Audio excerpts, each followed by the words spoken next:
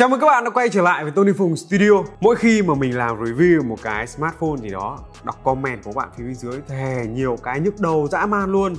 Và các bạn bị ám ảnh bởi quá nhiều thứ luôn đấy Thật sự, Nào là cái vụ mất giá nè Nào là cái vụ trượt giá các thứ nè Nào là chai pin nè Xong rồi trong tầm giá này cứ phải căn ke từng cái từng cái một liên quan đến cấu hình, Tức là các bạn trích thủ các thứ. Thôi thôi thôi được được. Khi mua một cái smartphone, bao giờ mình cũng luôn nhắc đến một thứ. Đó là cái nhu cầu của bạn quyết định tất cả. Và các bạn đừng bao giờ bị ám ảnh. Mình dùng từ nhá là ám ảnh bởi những cái thứ này. Và không để các bạn đợi nữa. Đây là quan điểm của mình về vấn đề này. Đừng bao giờ ám ảnh bởi những thứ này khi mua smartphone nhé let's go.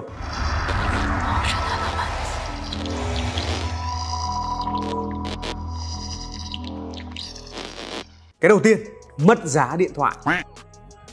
Các bạn mua điện thoại để mà sử dụng hay các bạn mua điện thoại để bán lại về sau. Ồ, nếu như các bạn mà xác định mua cái điện thoại đó sau này các bạn bán lại á, các bạn mua máy cũ cho mình thậm chí các bạn lên mấy cái chợ bán đồ cũ các bạn săn những cái deal thực sự cực kỳ thơm cực kỳ ngon cho mình mà đôi khi các bạn sẽ vẫn bị dính những quả đáng đáng thôi tại vì hàng mà giá rẻ quá rẻ bất ngờ là thường là hàng ôi đấy uh-huh, để yên tâm nhất, để an toàn nhất thì rất nhiều người sẽ lựa chọn mua máy mới và phải là máy chính hãng, phân phối chính thức ở thị trường Việt Nam cơ. Samsung này, Oppo này, iPhone các thứ này những cái dòng sản phẩm đó khi mà mua máy mới ấy, thì các bạn sẽ được đảm bảo về cái chất lượng và cái chế độ bảo hành hậu mãi về sau khi các bạn mua những cái điện thoại đó. Thì tức là cái yếu tố đây mình muốn nói đến cái vấn đề đấy là khi các bạn muốn bán lại về sau thì các bạn cứ mua máy cũ cho mình. Như thế thì cái vấn đề các bạn bán lại nó mới đỡ lo mất giá thôi chứ còn khi các bạn mua những cái máy mới, chỉ cần các bạn bóc cái siêu ra thôi là các bạn đã mất tiền rồi.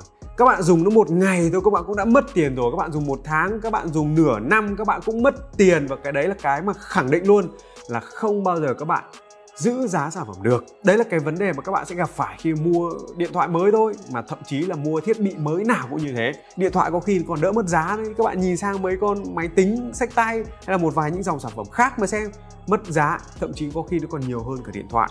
Các bạn cứ lấy một cái ví dụ, mua một cái iPhone chính hãng tại Hoàng Mobile. Ví dụ như iPhone 13 Pro Max bây giờ giá khoảng hơn 30 triệu. Sau này các bạn bán lại, còn bao nhiêu tiền? Ok.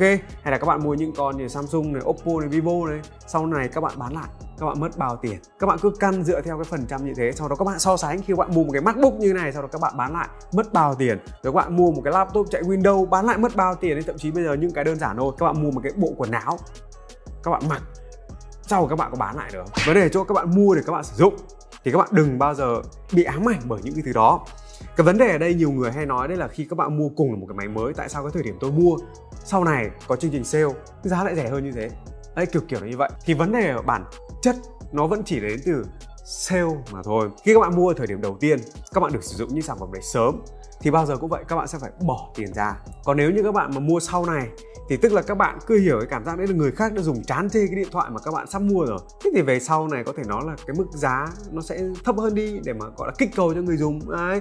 Nói thẳng ra cũng phải canh hot sale các thứ chứ. Luôn thì mới có cái mức giá tốt đấy mà một năm có khi chỉ có vài lần thôi, chứ đâu phải là lúc nào có cái giá tốt như thế để các bạn mua đâu, đúng không? Thế nên cái đấy nó phụ thuộc vào thời điểm này và phụ thuộc vào cái chiến lược kinh doanh của từng hãng khác nhau. Nên là không thể nào nói được là tại sao lúc này tôi mua giá vậy, sau tôi mua giá khác. Đơn giản một điều thôi, đấy là chương trình. Và nếu như bạn nào hên thì mua được giá tốt, còn nếu không thì thôi, các bạn mua để mà sử dụng mà. Kệ đi, chẳng vấn đề gì đâu. Ok, yếu tố thứ hai, đấy là cái này là có cực kỳ nhiều bạn bị ám ảnh bởi vấn đề, đấy là chai pin các bạn ạ ui, mà đặc biệt là các bạn dùng iphone. Tại bên trong cái iphone có cái phần tính năng gọi là thông báo xem là cái phần pin nó chai bao nhiêu phần trăm. Và có nhiều bạn bị ám ảnh về cái đấy kinh khủng luôn, đến mức độ mà cứ đâu đó một tuần phải check xem là pin mình bị chai mất bao nhiêu phần trăm. Đấy, cái thằng ngồi sau camera lại lôi điện thoại ra check xem pin chai mất bao nhiêu phần trăm đấy. Sợ thật sự luôn. Các bạn đừng bao giờ để ý đến cái đấy. Mình đã có một video giải thích rất kỹ về cái yếu tố này trên Tony Phùng Studio rồi. Các bạn có thể xem lại vấn đề ở đây đấy là cái đó chỉ là một cái thông số để các bạn tham khảo thôi. Nó không phải là chính xác 100% và nó cũng không phản ánh được là là pin nó chai nhiều hay là không. Mình lấy một cái ví dụ đơn giản nhé con iPhone 12 Pro Max hồi năm ngoái mình mua dùng. À, sau đó mình à, bán lại để mà mình lên con 13 Pro Max ấy. thì sau khoảng một năm sử dụng pin chai còn 87% cái máy của vợ mình dùng hơn 2 năm trời rồi vừa sạc vừa dùng như ngoé luôn dùng phá kinh khủng phá. Bây giờ pin cũng còn 87% các bạn giải thích được không? How to giải thích. Rồi chưa kể nữa rất nhiều anh em dùng máy cực kỳ dữ, pin tụt còn 90% nhiều người dùng như phá pin vẫn còn trăm phần trăm. How tôi giải thích. Mình nhắc lại nó vẫn chỉ là một cái yếu tố để các bạn tham khảo thôi. Đừng bao giờ bị ám ảnh bởi những cái thứ đấy. Mà khi các bạn sử dụng máy các bạn vẫn đảm bảo thời gian sử dụng tốt trong ngày là đủ rồi. Thế là ok rồi không vì phải xoắn nữa đâu. Nhức đầu nha bỏ bỏ bỏ bỏ bỏ đi. Còn bạn nào bị ám ảnh về cái vấn đề gọi là pin chai á thì thôi kiếm một cái kệ. Xong rồi dựng cái máy đó lên. Trưng nó mà trưng như thế có khi pin nó còn chết nhanh hơn. Tại vì không được sử dụng mà. Thiết bị điện tử không được sử dụng. Dễ chết lắm. Thôi, đùa thôi. Anh em yên tâm. Chỉ cần quan trọng là cái thời gian sử thực tế trong ngày. Thời gian đầu tiên các bạn mua, ví dụ on screen tầm khoảng 10 tiếng. Sau khoảng một năm sử dụng, on screen được tầm khoảng 8 tiếng 8 tiếng rưỡi 9 tiếng. Như thế là đã quá tuyệt vời rồi. Kệ nó đi. Vẫn thoải mái sử dụng trong ngày là ok rồi. Không phải xoắn. Nhá. Yếu tố thứ ba đấy là ám ảnh bởi cấu hình cái này thì là một câu nhắn gửi của mình dành cho những bạn chip thủ Đấy. Và cái vấn đề này thì gặp phải rất nhiều trong cái tầm giá loanh quanh đâu đó từ 5 triệu cho đến 7 triệu. Ở trong cái tầm này mà thậm chí là tầm cao hơn chút xíu lên tầm khoảng 10 triệu. Bao giờ các bạn cũng sẽ phải chấp nhận một cái vấn đề đó là cái điện thoại trong tầm này không bao giờ có thể toàn diện được ở tất cả mọi mặt. Các bạn được cái này, các bạn phải đánh đổi một thứ khác. Mà đôi khi những cái đánh đổi của bạn như thế nó lại phụ thuộc vào cái nhu cầu của bạn như thế nào. Mình lấy một cái ví dụ nhé. Ví dụ các bạn phải đánh đổi cái cấu hình để nói thẳng ra là chip nó hơi yếu đấy để các bạn có một thiết kế đẹp hơn, có một màn hình đẹp hơn và một camera chất lượng hơn. Hay cũng có những dòng sản phẩm các bạn phải đánh đổi tất cả những thứ kia, thiết kế thì xấu, hoàn thiện thì kém, phần mềm thì không ổn định, rồi chưa kể camera thì cho có hay là màn hình thì nó có thể nói là không thể nào gọi là đẹp được. Để lấy một cái cấu hình có thể nói là ngon nhất cho cái tầm giá này. Vấn đề nó là như vậy. Các bạn chấp nhận cái kiểu nào thì nó phụ thuộc vào nhu cầu của bạn. Tại vì có nhiều người mình biết ấy, mua một cái điện thoại về game có khi là không cài vấn đề người ta chỉ là lướt facebook này lướt web này xem video trên youtube này chat trên zalo lướt tiktok ngắm gái cứ thế thôi là đủ rồi họ cần một cái điện thoại phải có màn hình đẹp thiết kế thì cũng gọi là đẹp đẹp, nhìn cho nó hấp dẫn. Rồi chưa kể nữa là thời lượng pin các thứ cũng trâu. Và cái quan trọng nhất như mình đã nói là họ cần một cái điện thoại màn hình đẹp. Thế thì rõ ràng là những cái điện thoại mà có những tiêu chí đó sẽ phù hợp với họ hơn là một cái điện thoại có cấu hình rất là cao. Chơi game thì sướng kinh khủng luôn. Thế nhưng mà người ta mua về có chơi game đâu? Thế thì việc gì mà cứ phải ám ảnh đấy trong cái tầm giá này, nhìn thấy máy của thằng bạn mình, ui, chơi game mượt thế. Ui, mạnh vãi đạn luôn. Ui ui. Đấy, xong các bạn lại nghĩ, ui biết thế hồi đấy mua con đấy về chơi game cho sướng. Xong mua về, bận tối mắt tối mũi, buổi tối cầm điện thoại được một tí, lướt facebook với cả xem tiktok một lúc, đi ngủ rồi.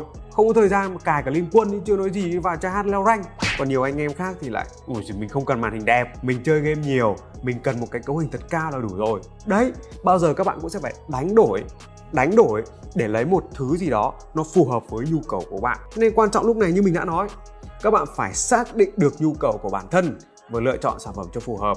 Đừng có bao giờ lấy cái suy nghĩ và lấy cái nhu cầu của một người khác và họ chọn những cái sản phẩm đó và họ cảm thấy um cái điện thoại này của tôi hơi bị ngon luôn, chơi game bá đạo cực kỳ ui 60 fps chơi lên quân combat không bao giờ tụt fps luôn. Mà màn hình xấu, camera tệ, tự nhiên các bạn mua một cái điện thoại đó về không hợp với nhu cầu của bạn, thế là nó phí ra. Hợp lý không? Nên là suy nghĩ, mình cần gì? Chọn điện thoại cho hợp lý. Đừng nhìn điện thoại của thằng hàng xóm. Cũng giống như kiểu ấy mà thôi, cái này không mention nhá mình là người có gia đình rồi suy nghĩ nó hơi khác. Ok. Ừ. rồi và cái cuối cùng đừng để branding ảnh hưởng đến tâm trí của bạn. Tại sao bây giờ vẫn còn suy nghĩ dùng điện thoại cao cấp là phải samsung và apple? No no no no Oppo cũng có rất nhiều chiếc điện thoại cao cấp xịn sò đắt tiền. Vivo cũng thế, Xiaomi flagship của họ càng ngày càng trở nên ngon hơn.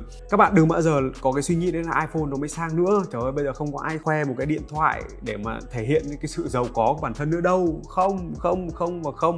iPhone bây giờ nó đầy rẫy ngoài đường rồi.